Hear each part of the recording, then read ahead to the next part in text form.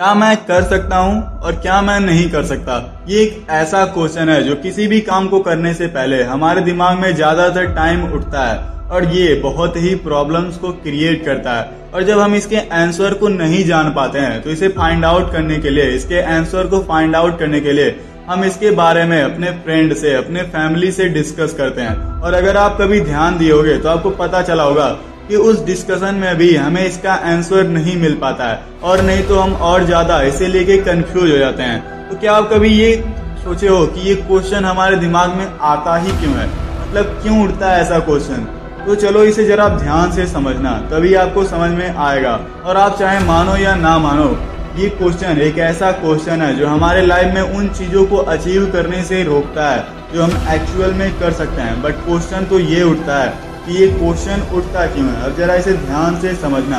अच्छा आप कभी नोटिस किए हो कि जो छोटा सा बेबी होता है मतलब बच्चा होता है, उसे आप जो कुछ भी कहते हो, वो उसे रियल मान लेता है। उस पर कभी क्वेश्चन नहीं उठाता है और यही कारण होता है, जब हम छोटे बच्चों को कोई स्टोरी सुनाते हैं तो वो उन चीज़ों को रियल मानते चलते हैं। जैसे कि मान लो, अगर आप उसे एक कार का खिलौना दे, दो और उसे बोलो कि ये एक एयरप्लेन है तो वो उसे एयरप्लेन ही मानेगा। और तब तक एयरप्लेन मानेगा, जब तक उसे कोई ये ना बता दे कि कार क्या होता है और एयरप्लेन क्या होता है। जब तक उसे अच्छी तरीके से कोई डिफ्रेशिएट ना कर दे उन दोनों चीज़ों के बारे में, तब तक वो एयरप्लेन ही उस चीज़ को समझेगा। और आप कभी ये सोचे हो कि वो क्वेश्चन क्यों नहीं उठाता है? देखो, वो क्वेश्चन उठा ही नहीं सकता है, क्योंकि उसके अंदर अभी उसका कॉन्सियस माइंड डेवलप नहीं हुआ है। कई स्टडीज़ में पाया गया कि एक बेबी मतलब कि एक जो बच्चा होता है ना, उसके अंदर उसका जो कॉन्सियस माइंड होता है ना वो आठ साल के बाद ही डेवलप होता है। मतलब सात से आठ साल की उम्र तक उसके अंदर कॉन्सियस माइंड होता ही नहीं है। और इसीलिए वो किसी भी चीज़ पे क्वेश्चन नहीं लगाता है। वो जस्ट उन चीज़ों को मान लेता है, उन बातों को रियल मान लेता है, जो आप उसे कहते हो।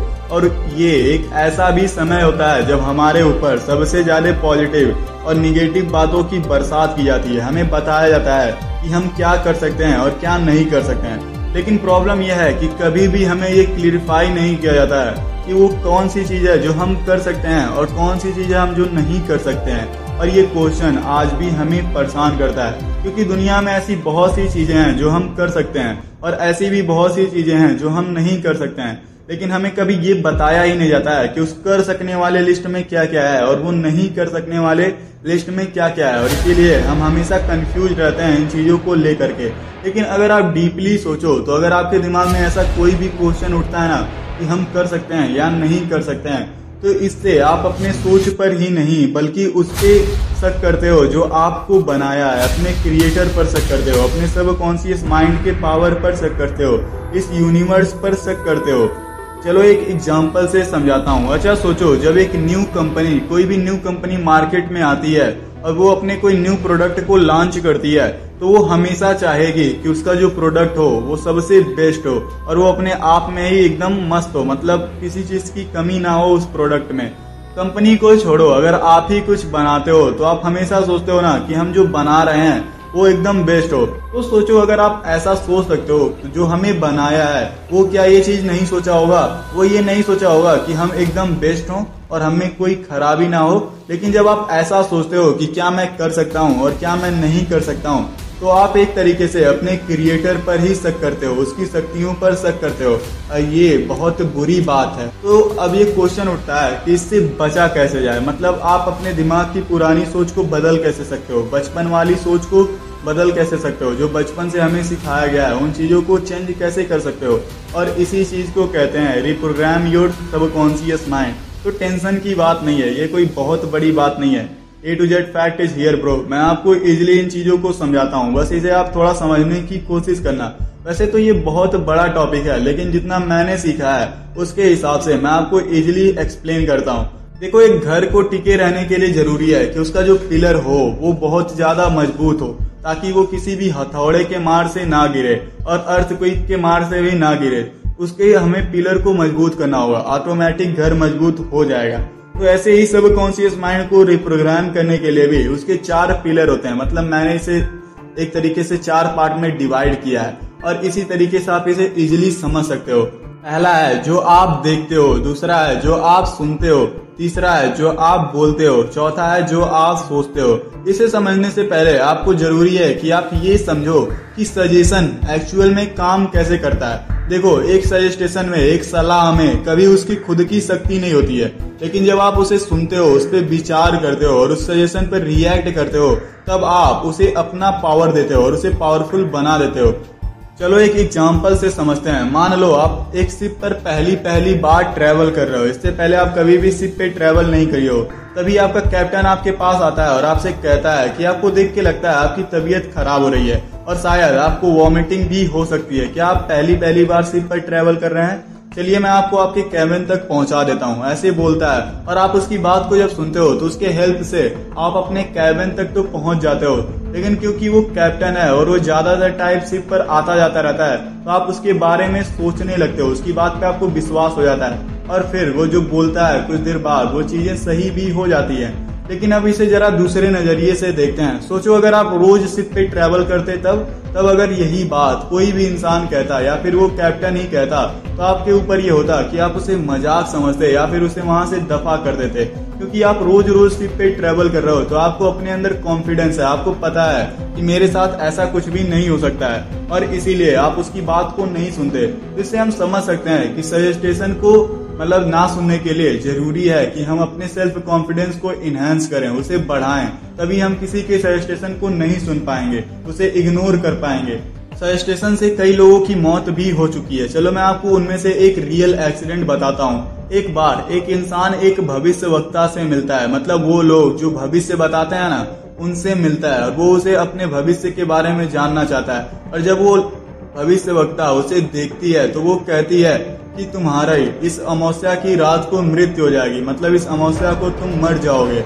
अब वो इन चीज़ों को सुन करके उसके बारे में सोचने लगता है और वो उसे अपने फैमिली से, अपने फ्रेंड से सबको बता देता है और वकील को बुला करके अपने घर के कागज़ को भी सही करवा लेता है। मतलब एक तरीके से वो अपने मरने की ही तैयारी कर रहा होता है और जैसे जैसे अमावस्या करीब आती है, उसका तबीयत दिन पर दिन खराब होने लगता है। वो इंसान जो कुछ दिन पहले एकदम मस्त था, एकदम मस्त लाइफ को जी रहा था, उस रजिस्ट्रेशन के कारण, उसके ऊपर रिएक्ट करने के कारण धीरे धीरे उसका तबीयत खराब होने लगता है। और जैसा वो भविष्य वक्ता कही थी, अमावस्या के दिन उसे हार्ट अटैक आता है और उसकी मृत्यु हो जाती है। तो आपको क्या लगता है, ये उस भविष्य वाली के कारण हुआ? उसकी वजह से हुआ?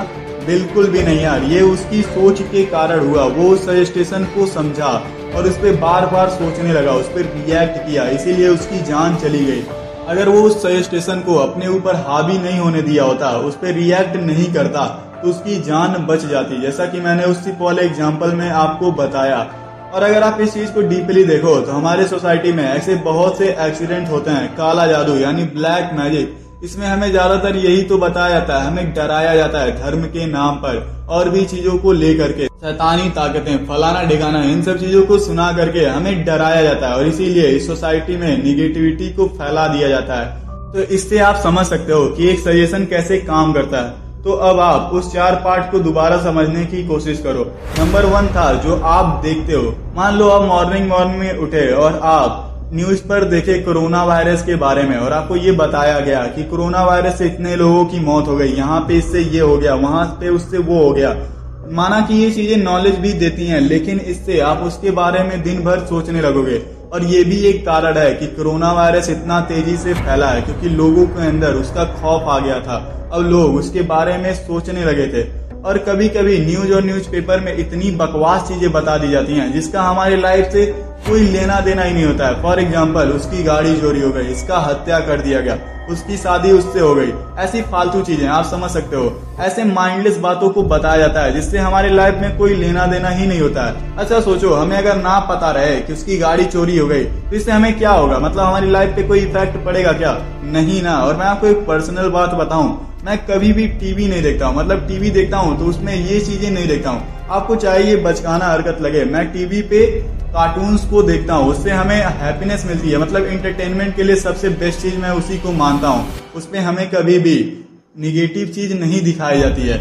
लेकिन जो टीवी है ना, इस पे सबसे ज़्यादा जो टेलीविज़न पे निगेटिविटी फैलाने वाली चीज़ है ना, वो होता है सीरियल अरे यार, क्या बताऊँ? ये सीरियल्स लोगों में इतना निगेटिविटी फैलाते हैं, जिससे आप समझ भी नहीं सकते हो।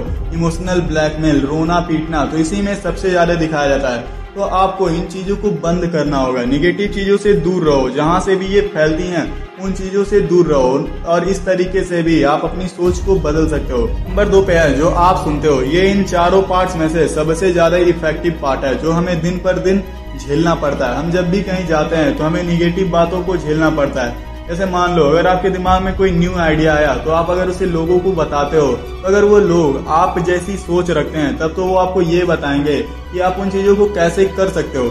लेकिन अगर वो लोग आप जैसी सोच नहीं रखते हैं, तब वो आपको ये बताएँगे कि तुम ये नहीं कर सकते हो, कोई ऐसा नहीं किया है, तुम नहीं कर पाओगे। ऐसी ही फालतू बातें।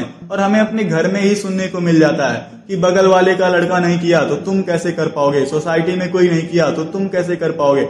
ऐसा थोड़ी ना होता है यार। सोसाइटी जो नहीं कर सकती, वो हम भी नहीं कर सकते क्या? उनमें हमें फ़र्क होता है। इसीलिए इन सब चीज़ों से दूर रहना बहुत ज़रूरी है, ऐसी निगेटिव बातों से। हमारे पास दो कान होते हैं। एक कान से सुनना चाहिए, एक कान से निकाल देना चाहिए। जो ज़रूरी चीज़ें हैं, उससे आप सीखो, लेकिन जो ज़रूरी नहीं है, जो निगेटिव है, उसे जस्ट एक कान से सुनो और दूसरे से निकाल दो। यही सबसे अच्छा तरीका होगा इन चीज़ों से बचने के लिए। नंबर थ्री जो आप बोलते हो मैंने आपको पहले ही कई वीडियोज़ में बताया है कि हमारे सब कॉन्सियस माइंड को मज़ाक नहीं समझ में आता है। जो आप उससे बोलते हो, वो उससे रियल मान लेता है। और आप जाने अनजाने में ही या फिर मज़ाक में ही उसे बहुत सी निगेटिव बातें सुना देते हो। मैंने ज़्यादातर देखा है, जब कोई किसी से मिलता है ना तो अगर कोई पूछता है, और भाई कैसे हो? तो लोग बोलते हैं, बस लाइफ कट रही है। लाइफ की लगी पड़ी है। अरे भाई, क्या लगी पड़ी है? भले ही तुम इस बात को मज़ाक में बोल रहे हो ना, लेकिन सब कॉन्सियस माइंड को तो ये रियल लग रहा है, वो मान रहा है कि सच में इसकी लाइफ खराब हो रही है। और फिर आप बोलते हो कि सब कॉन्शियस माइंड काम नहीं करता है। मेरी लाइफ में हमेशा निगेटिव चीज़ें होती हैं। जब निगेटिव बोगे तो निगेटिव ही काटोगे ना। इसीलिए ज़रूरी है कि आप इन चीज़ों को कंट्रोल करो। भले ही आप मज़ाक में ही बोलो, लेकिन इन चीज़ों को मत बोलो। मैंने आपको कई बार बताया है कि निगेटिव बातों को पूरा होने नहीं देना चाहिए। और इस चीज़ को बदल करके भी आप अपने सब कॉन्शियस माइंड को रिप्रोग्राम कर सकते हो। नंबर वन और सबसे ज़रूरी पार्ट जो हम सोचते हैं, हमारी लाइफ हमारे बिलीव और हमारे थिंकिंग का रिफ्लेक्शन होती है। हम जैसा सोचते हैं, वैसा बन जाते हैं। और हमारे सोच में जो सबसे बड़ा रोल प्ले करता है ना, वो होता है सजेस्टेशन लोगों की सजेस्टेशन को सुन करके जब हम उस पर रिएक्ट करते हैं, उस पर थिंकिंग करते हैं तब वो हमारे लिए बहुत बुरा होता है, बहुत ज़्यादा घातक साबित हो सकता है। जैसा उस एक्सीडेंट में देखे, उस स्टेशन के कारण उसकी मौत हो गई। अगर वो उसकी बात को जस्ट इग्नोर कर देता तो शायद वो ज़िंदा होता। सबसे पहले आपको अपने सोच पर कंट्रोल करना होगा, और इसे कंट्रोल करने का जो सबसे बेस्ट तरीका है ना, वो ये है कि जहाँ से भी आपको कुछ निगेटिव सुनने को मिले ना, उन जगहों से दूर रहो, और हमेशा अपने आप को पॉजिटिव साइड में रखो, अपने आप को पॉजिटिव अफर्मेशन से भरे रहो। हमेशा कहो कि मैं कर सकता हूँ। देखो, मैंने अभी जब ये वर्ड बोला ना तो आप इस एनर्जी को फील कर पाओगे। और जब तक मैं ये निगेटिव बातें बता रहा था ना, मैं सच में बताऊँ, अपने आप में ही मुझे बहुत अजीब सा फील होता है। लेकिन जब मैं ये बोला कि मैं कर सकता हूँ, ऐसे